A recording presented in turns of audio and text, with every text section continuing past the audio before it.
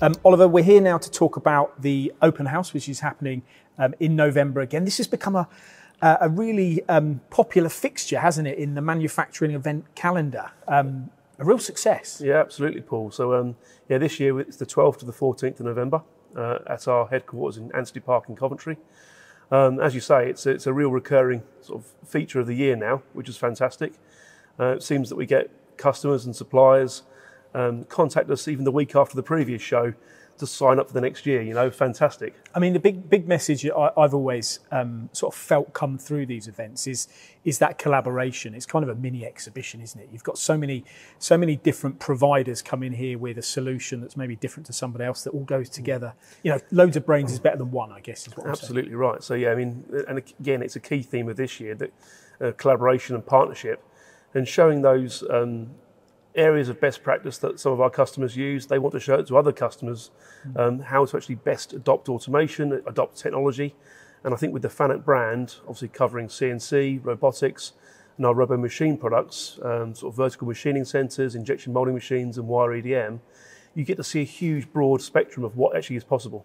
And I mean, what is the variety of, of the partners that are here and the partnerships that you've got? What, what are the disciplines of manufacturing, the areas of manufacturing that they support and service? Just to illustrate mm. how, how broad the event is and who yeah, well, everything from aerospace to food and beverage, pharmaceutical, medical, automotive, tier one customers, tier two customers, you know, vertical supply chains all the way through the length and breadth of what um, manufacturing in Britain supplies, you know? Yeah. I mean, it must be, in, in, my mind, there's not many events that are as big as this that happen in the UK that aren't exhibitions. No, absolutely right. So I think um, a lot of other customers, um, sort of suppliers of equipment, will have their own dedicated shows, um, but they'll be focused on their products.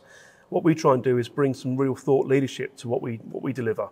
So we've got a huge, broad range of uh, manufacturers, as you mentioned before. We're also bringing the press and, and media to the show. We're bringing um, finance companies to the show. We're bringing um, trade organisations to the show. So mm. some of the real big focus this year is obviously on making sure that we adopt automation at the same rate as others.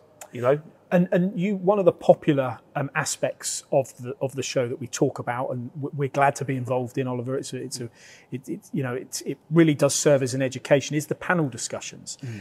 something a little bit different this year, slightly different location, um, yep. and slightly different method, should we say?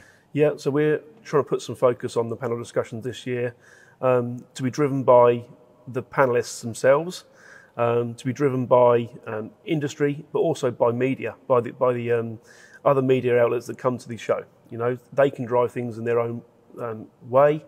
Um, also driven by trade associations. Yeah, they're trying to get a, a broad spectrum of different panelists together to sort of push the, the right messaging into industry. And, and what would some of that messaging be? What, what are people going to extract?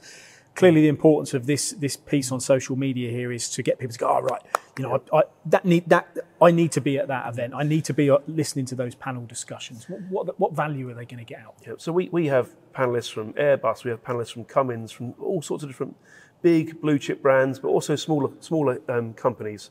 Um, they will convey the best way that they've adopted automation through their um, return on investment calculations. Um, those that have had to obviously train their own staff or upskill their own staff, how they've done it. Mm. So huge, broad sort of. I suppose it's the challenges that companies face. Absolutely. The, it's a way of solving those. Exactly that, and, and there's no there's no fixed way of doing any of those. But to hear multiple ways, one of them might just fit to you. Brilliant. Okay, just remind us and remind the audience when the event is happening and, and whereabouts it is. So it's the 12th to the 14th of November at Fanuc on Ansty Park in Coventry.